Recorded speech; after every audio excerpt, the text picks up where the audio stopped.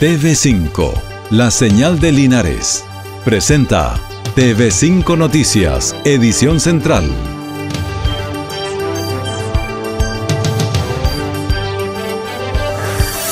En Linares fueron entregados los recursos para los proyectos Fondeve. Autoridades del Maule consiguen compromiso del MinSal de continuar la ejecución de obras e implementos de los hospitales. Deporte Linares enfrenta su penúltimo partido como local y va por los tres puntos. Hola, ¿qué tal? ¿Cómo están? Avanzamos en estos primeros días de noviembre con altas temperaturas y este fin de semana tenemos un compromiso con la Teletón. Bueno, vamos de inmediato a las informaciones.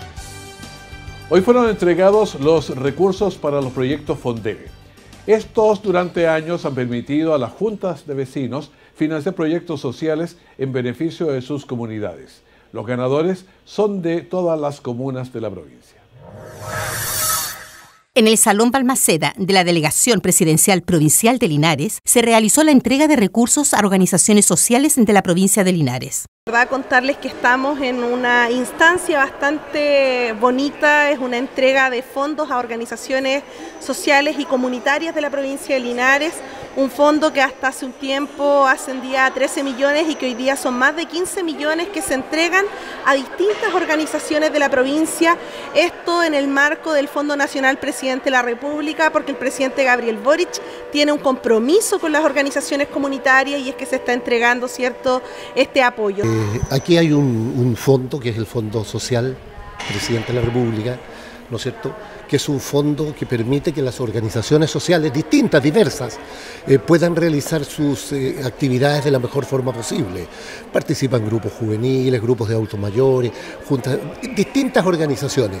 Lo importante es que el gobierno y el gobierno del presidente Boris ha colocado este instrumento una vez más a disposición de las organizaciones sociales. Estos fondos de recursos son parte del Fondo Social Presidente de la República y las juntas vecinales lo esperan para sus trabajos sociales. Bueno, es una gran alegría ser parte de la entrega de estos fondos junto a la delegada presidencial, porque me acuerdo de palabras que ella misma dijo hace un rato, es un sello de nuestro gobierno, del gobierno del presidente Gabriel Boric, fortalecer las organizaciones sociales y las organizaciones comunitarias. Y, y eso tiene que decirse con todas sus letras el mayor triunfo de quienes no quieren que las cosas cambien es hacernos creer que los vecinos y las vecinas somos enemigos, que las organizaciones sociales finalmente son algo marginal, que nos sirve, la ley del sálvate solo. Lo cierto es que las comunidades, los vecinos, los dirigentes nos enseñan de que cuando estamos unidos podemos lograr cosas. Bueno, siempre creemos que es muy importante que el Estado apoye la labor que hacen las organizaciones eh, de la sociedad civil, en especial las juntas de vecinos, eh, los clubes de adulto mayor, etcétera. Eso es muy importante porque creemos que el poder de una sociedad tiene que estar en las personas. Este fondo financia proyectos de arte y cultura, educación, capacitación, salud, deporte, recreación, entre otras posibilidades. Eh, hoy estamos aquí recibiendo nuestro proyecto de un millón de pesos para la organización, para que así ellas puedan trabajar. Esto consiste en comprar materiales de eh, lana y género para ellas para el próximo año. A estos proyectos Fondeve pueden optar instituciones formalizadas. Con RUT, el carnet del representante legal, además deben rendir cuentas del proyecto. El compromiso de continuar la ejecución de obras e implementación de hospitales nuevos se logró tras la visita de autoridades del Maule al Ministerio de Salud. La inquietud surgida respecto de la actual condición de los recintos asistenciales de Linares y Curicó el futuro de los nuevos hospitales que se construyen en el país, incluidos los de Linares y Curicó en la región de Maule, es tema que se analiza desde diversos sectores. Los alcaldes, entre ellos el de Linares, exigieron hace unos días inyectar más recursos por la eventual paralización de obras debido al aumento del costo de materiales. Todas las obras públicas y privadas tienen complicaciones en cuanto a su ejecución por el valor de los materiales el IPC de la construcción es más alto que el IPC eh, del consumidor. Y por eso el Ministerio de Salud debe inyectar más recursos económicos, pero además actualizar en los próximos meses el valor de los materiales y respecto al valor de este contrato. Fueron autoridades regionales las que sostuvieron una reunión con el subsecretario de redes asistenciales en Santiago para conocer la realidad y buscar soluciones.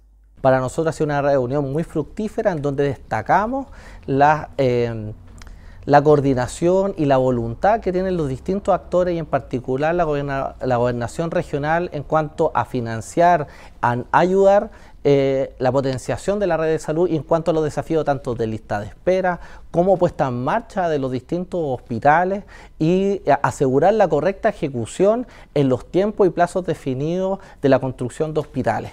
La conclusión es simple. El escenario está supeditado a reevaluación de los proyectos de nuevo hospital que se ejecutan.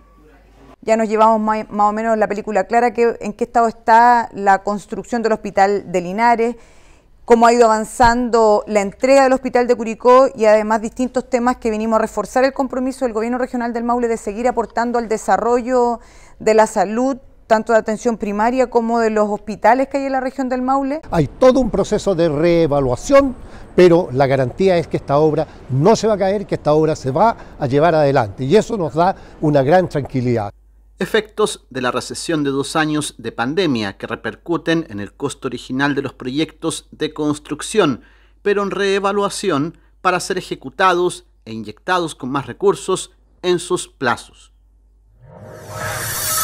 Un accidente se produjo en horas de la mañana en la ruta internacional Pehuenche, la CH-115.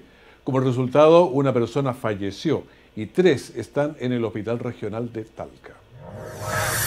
Cerca de las 10 de la mañana y por causas que se investigan, un camión de la empresa Coca-Cola perdió el control e impactó fuertemente con árboles en el kilómetro 30 de la ruta CH115 Pehuenche en la comuna de San Clemente. Con motivo del accidente, el conductor del camión falleció, mientras que otras tres personas fueron trasladadas hasta el Hospital Regional de Talca, donde se mantienen bajo observación médica. La CIAT de Carabineros investiga las causas del accidente.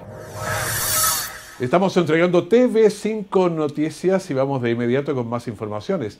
Hasta el 10 de noviembre podrán postular apicultores y ganaderos del Maule a los fondos de emergencia destinados para pequeños productores impactados por las condiciones climáticas y crisis económica.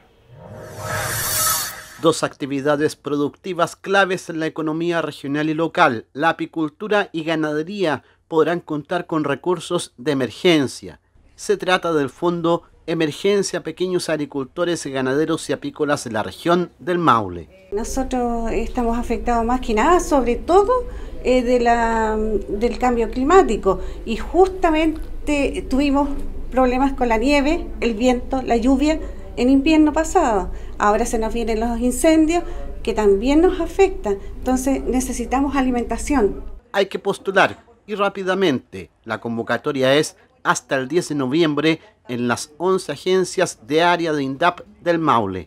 Nosotros como pequeños agricultores eh, estamos lejos de los grandes agricultores que producen dólares, traen dólares y nosotros somos los que alimentamos a los trabajadores de esos grandes empresarios agrícolas.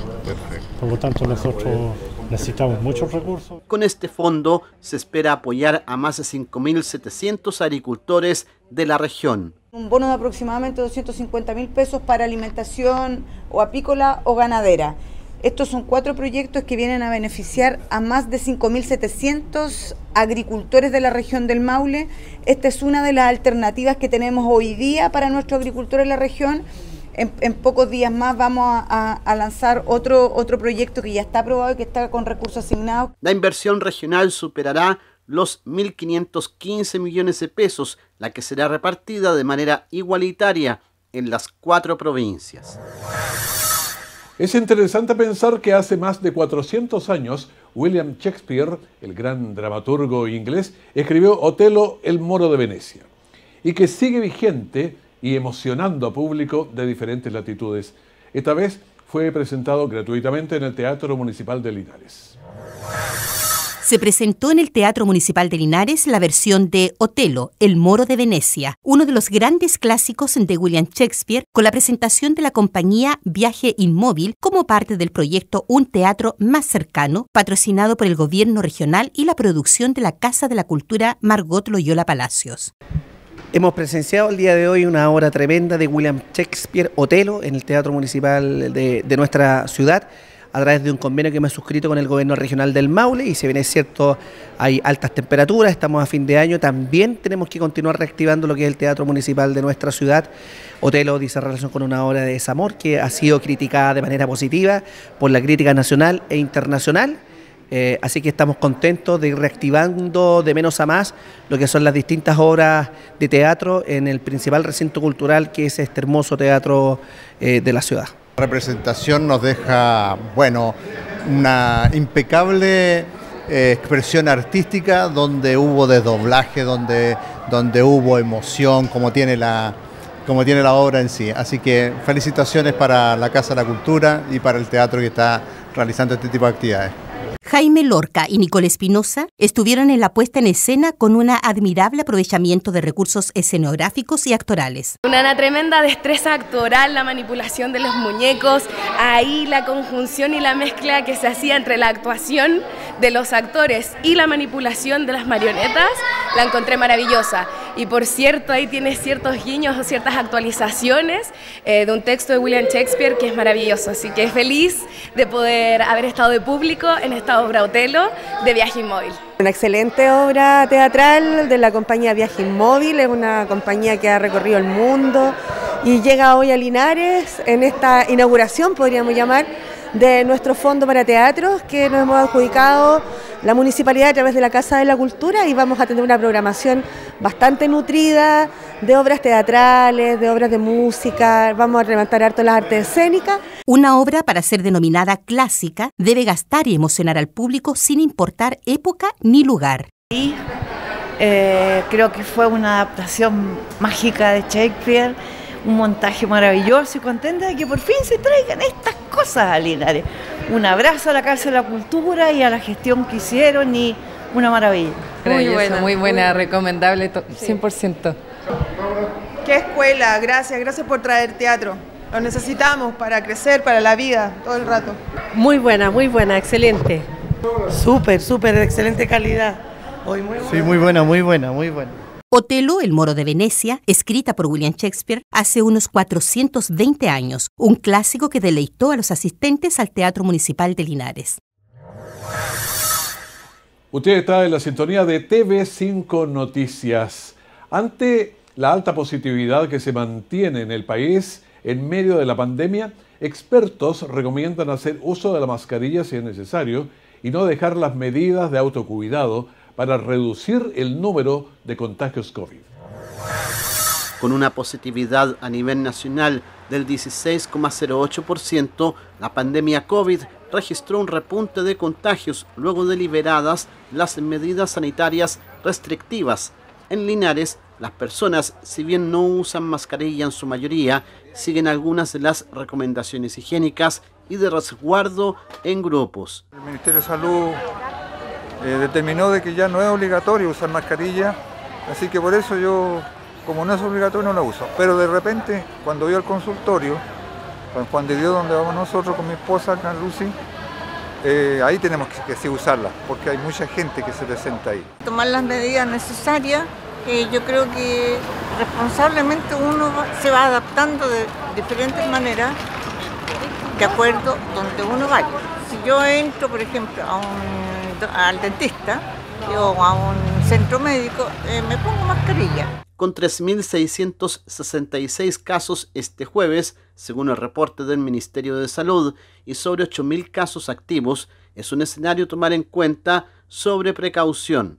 Va de la mano con un aumento en el número R, este número que indica la transmisibilidad cuántas personas están contagiando a otras personas. Este número muestra que la pandemia en estos momentos está creciendo y podemos esperar en los próximos días eh, que se siga manteniendo un aumento de casos. Por ello, especialistas recomiendan mantener el uso en espacios cerrados, trabajos y aglomeraciones de la mascarilla.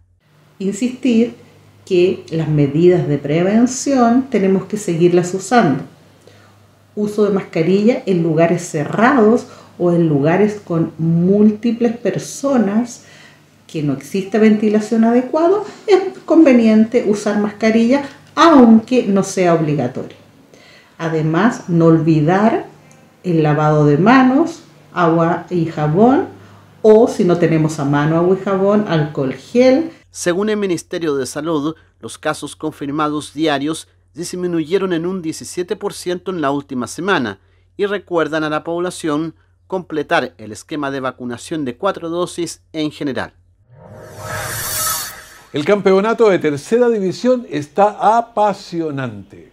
Este sábado Deportes Linares, el puntero invicto con tres puntos de ventaja, va por los tres puntos para consolidar su liderazgo. Los equipos que obtengan los dos primeros lugares ascienden. Este sábado a las 20 horas el Club de Deportes Linares enfrenta a Unión Compañías en un partido crucial para mantenerse en el primer lugar y lograr el ascenso. Es importante, ¿cierto?, eh, llenar el estadio primeramente, pero también es importante que conservemos la calma. Eh, es un equipo eh, duro, tiene mucha técnica deportiva y también tiene un entrenador el cual tenemos que tratar con, con mucha calma Sábado un partido fundamental, necesitamos el apoyo de toda la gente, eh, tal cual ha sido la característico del, apoyo que ha tenido constantemente el equipo.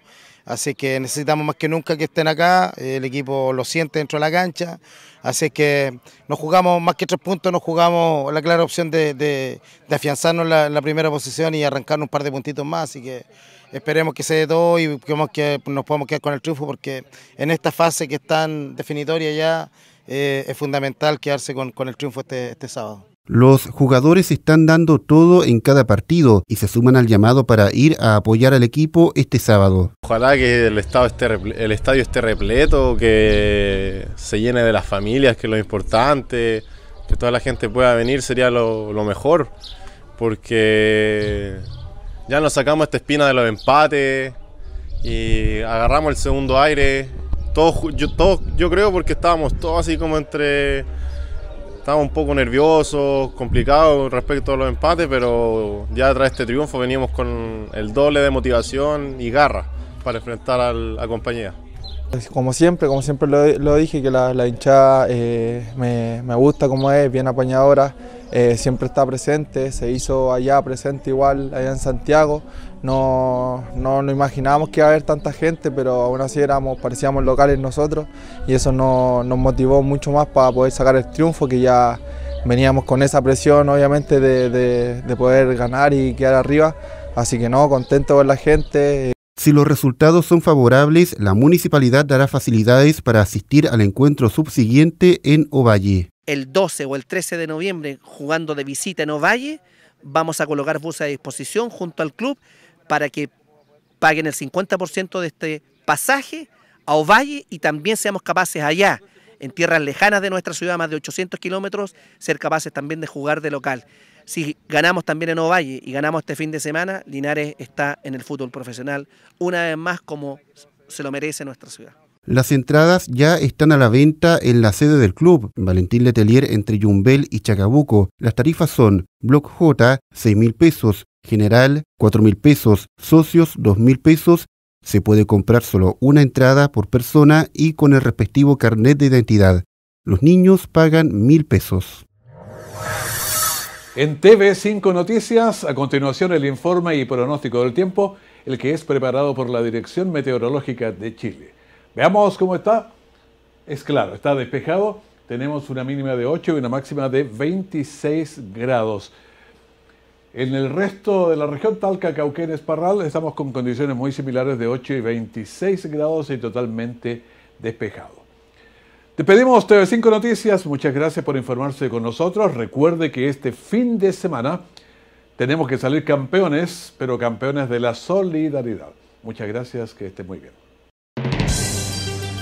TV5, la señal de Linares, presentó TV5 Noticias, edición central.